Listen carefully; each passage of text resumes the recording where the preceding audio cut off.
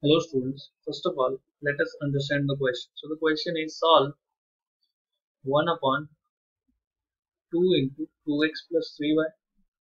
plus 12 upon 7 into 3x minus 2y equal to 1 upon 2 okay? And 7 upon 2x plus 3y plus 4 upon 3x minus 2y equal to 2 where 2x plus 3y is not equal to 0 and 3x minus 2y is not equal to 0 okay so let's start तो हमें question में given है दो equations okay जो कि है one upon two into two x plus three y plus 12 upon 7 into 3x minus 2y equal to 1 upon 2 okay? And the other one is 7 upon 2x plus 3y plus 4 upon 3x minus 2y equal to 2 okay? तो जब भी मुझे variables जो है वो denominator में given हो तो मैं क्या देखता हूँ? कि जो एक्सप्रेशन है मेरे पास two x plus three y यहाँ भी है, यहाँ भी है three x minus two y यहाँ भी है वहाँ यहाँ भी है तो मैं ऐसे केस में क्या करता हूँ? जो एक्सप्रेशन सेम होते हैं, उनको मैं कुछ लेट कर लेता हूँ तो let one upon two x plus three y is equal to and one upon three x minus two y is equal to b okay तो इस तरीके से ये जो है मेरे पास, ये क्या बन जाएगा? One upon two a plus twelve upon seven b equal to one by two तो अगर मैं इसमें एलसीएम लूँगा तो सेवन और टू का एलसीएम कितना हो जाएगा? फोर्टीन तो ये हो गया seven plus twenty four b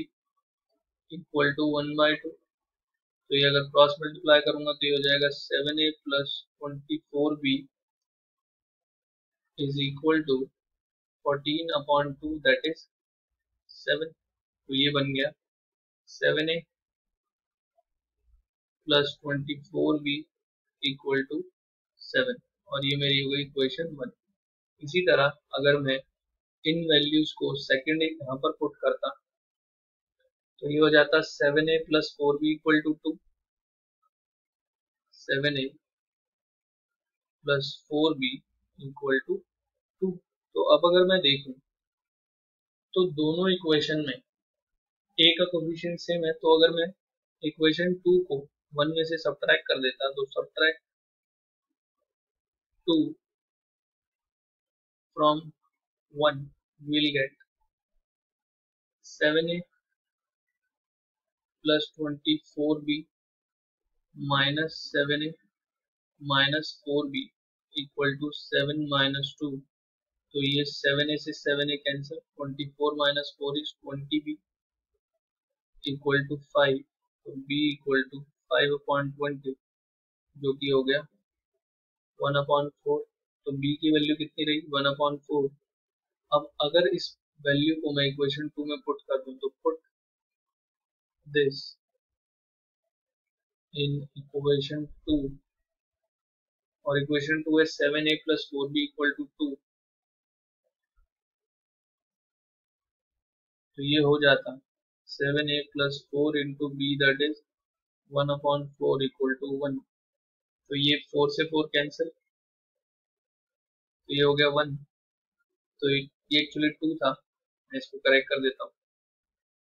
okay. तो ये हो जाएगा इधर आके माइनस वन तो seven a equal to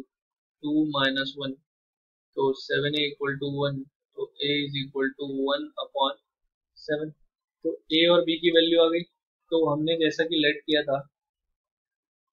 one upon 3x 2x plus 3y is a 1 upon 2x plus 3y is a and 1 upon 3x minus 2y is b okay okay तो a की value आई है one upon seven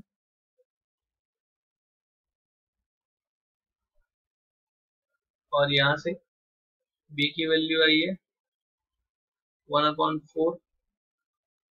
तो अगर मैं इनको simplify करूँ तो ये हो जाएगा two x plus three y is equal to seven और ये हो जाएगा three x minus two y is equal to four okay इसको मैं बोल देता हूँ इक्वेशन थ्री और इसको बोल देता हूँ फोर तो अगर मैं देखूँ ध्यान से तो इक्वेशन थ्री में y का कोफिशिएंट थ्री है और फोर में y का कोफिशिएंट टू है। तो अगर मैं इसको टू से मल्टीप्लाई कर दूँ और इसको थ्री से तो दोनों कोफिशिएंट सिक्स बन जाएँगे। ये माइनस सिक्स होगा एक्चुअली तो मल्टीप्लाई करता हूँ। Multiply equation 3 by 2 and equation 4 by 3 okay? तो ये हो जाएगा two into two x plus three y equal to two into seven, जो कि कितना आ जाएगा? यहाँ लिख देता हूँ इसको। टू टू जब four, x plus six y equal to seven into two fourteen, और इसको जब मैंने इससे मल्टीप्लाई किया था थ्री से तो ये हो जाएगा three into three x minus two y equal to three into four तो ये हो जाएगा three into three nine x minus six y equal to twelve और अगर मैं इन दोनों को ऐड कर दूँ तो ये cancel nine plus four thirteen x fourteen plus twelve twenty six तो x is equal to 26 upon 13 that is equal to 2 तो यहाँ से x की वैल्यू कितनी आई टू अब अगर मैं इसको इक्वेशन थ्री में पुट कर दूँ तो पुट दिस इन इक्वेशन 3 तो इक्वेशन थ्री क्या है? 2x plus three y equal to seven और x है टू तो two into two plus three y equal to seven तो टू टू जब फोर तो three y equal to seven minus four तो three y equal to three तो y equal to three upon three that is equal to one तो मुझे x और y ही तो find करना था so I can say that solution is x equal to 2 and y equal to 1 तो I hope ये आपको समझ आया होगा। Thank you